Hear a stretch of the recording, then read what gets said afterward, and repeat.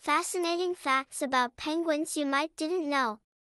Penguins are flightless birds that are adapted to life in the water.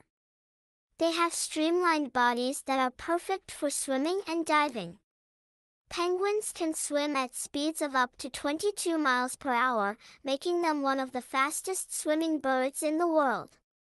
Unlike most birds, penguins have a thick layer of blubber under their skin that helps them stay warm in cold waters. Penguins are found only in the southern hemisphere, from Antarctica to the equator. The largest species of penguin is the emperor penguin, which can reach heights of up to 4 feet and weigh up to 90 pounds.